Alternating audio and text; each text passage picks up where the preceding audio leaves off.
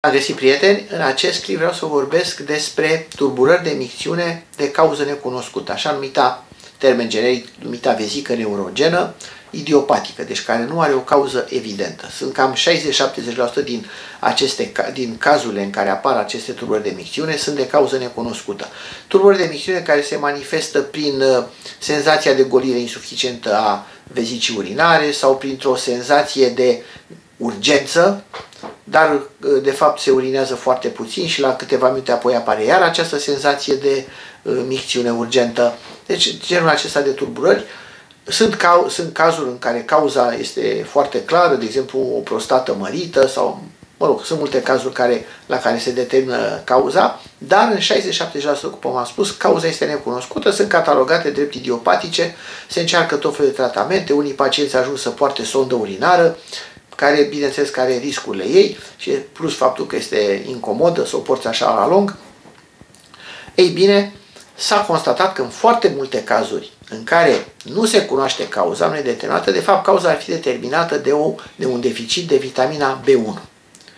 Pentru a înțelege cum funcționează, cum acționează vitamina B1, vă explic un pic care este mecanismul micțiunii. Ei bine, urina se acumulează în vezica urinară, în jurul vezicii urinare există un mușchi numit mușchiul de trusor care se destinde, se relaxează astfel încât vezica să-și mărească volumul și urina să se poată acumula. Vezica nu se golește în permanență deoarece există doi mușchi circulari care uh, închid uretra, deci uretra fiind tubul care uh, coboară din uh, vezica urinară și care, prin care se golește urina. Unul din acești mușchi, unul din acești sfinctere este sub controlul voinței noastre, de aceea ne putem abține să urinăm. Al doilea mușchi este un mușchi care este controlat de sistemul nervos vegetativ, nu e sub controlul voinței noastre. Ei bine, mușchiul de trusor, care este în jurul vezicii și acest sfincter, care nu e sub controlul voinței noastre, sfincterul neted se numește, acționează în opoziție. În momentul în care mușchiul de trusor se destinde, se relaxează, sfincterul neted este închis, este contractat. În momentul în care se atinge o anumită presiune a, vezi, a urinei în vezică, în acel moment sfincterul, sistemul nervos vegetativ, dă comandă sfincterului să se relaxeze, de să deschidă orificiul, iar și dă comandă mușchiului de trusor să se contracte, astfel încât să se evacueze urina din vezica urinară. Ei bine, în aceste situații de tulburări, mușchii aceștia nu mai acționează sincronizat.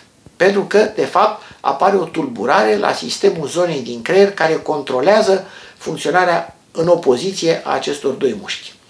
Și aici intervine vitamina B1. În deficitul de vitamina B1, pe de o parte, apar tulburări în sinteza mielinei, mielina fiind acea substanță care se depune în jurul neuronilor și care acționează ca un izolator, astfel încât influxul nervos să se ducă numai de la un neuron la altul pe calea axonală, pe axon, să nu se producă astfel scurt circuite. Fac o analogie cu circuite electrice. Firele electrice sunt izolate pentru că atunci când se ating să nu se producă scurt circuite. Exact la fel se produce și la nivelul neuronilor. Neuronii sunt izolați cu această teacă de mielină și influxul nervos circulă numai pe acolo pe unde trebuie. În deficitul de vitamina B1 apar tulburări în sinteza, plăci, în sinteza mielinei, astfel încât izolarea nu mai este foarte bună și se produc astfel de scurcircuite care duc la disfuncții ale funcționării celor doi mușchi, nu, se, nu mai sunt sincronizați. De asemenea, vitamina B1 intervine în producerea de energie la nivelul neuronilor și în momentul în care apare un deficit, neuronii nu mai produc suficientă energie și apar disfuncții în funcționarea lor.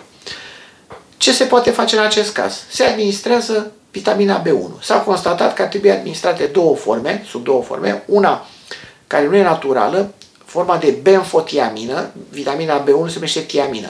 Se administrează în forma de benfotiamină, care este o formă liposolubilă, deci care se dizolvă în grăsimi, și astfel ea poate să acționeze foarte bine la nivelul neuronilor și de asemenea trebuie administrată și forma naturală, hidrosolubilă, solubilă în apă, tiamină. Dar atenție, ar fi bine să luați forma naturală, nu forma sintetică de, de tiamină. Și în felul acesta în două săptămâni ar trebui să înceapă să apară efectele și în două, trei luni situația să se, să se rezolve. De asemenea, trebuie acționat și la nivelul cauzei deficitului de vitamina B1. În foarte multe situații, acest deficit apare dacă există insulinerezistență prediabet sau chiar diabet de tip 2 care este consecința consumului crescut de carbohidrați pe perioade lungi de timp. Ar fi bine, deci, în această situație, dacă aveți asemenea tulburări de micțiune, să faceți și analize indicele HOMA care ne arată nivelul de insulinorezistență, glicemia, bineînțeles, hemoglobina glicată care ne arată evoluția glicemiei în ultimele 3 luni, eventual chiar dozarea insulinei în sânge pe nemâncate. Și în felul acesta ne putem da seama de că există insulinorezistență sau chiar diabet de tip 2. De, de tip 2. Da? Și bineînțeles că și alte modificări care apar uh, din cauza insulinorezistenței poate să fie obezitate, ficat gras și așa mai departe. Deci trebuie acționat și la acest nivel din punctul meu de vedere și al multor specialiști, cea mai eficientă metodă pentru reducerea și chiar dispariția insulinorezistenței și chiar intrarea în remisie a diabetului de tip 2 este postul intermitent combinat cu consum redus de carbohidrați. În felul acesta reușim să reducem și chiar să facem să dispară insulinorezistența. Mai multe detalii despre postul intermitent, las un link în uh, primul comentariu pe YouTube și uh, Facebook, pe Instagram și TikTok este în uh, profil intrați și vedeți beneficiile postului intermitent dând click pe acel link. Închei aici, nu înainte de a vă aduce aminte, corpul tău îți va mulțumi pentru asta. Numai bine, sănătate, la revedere!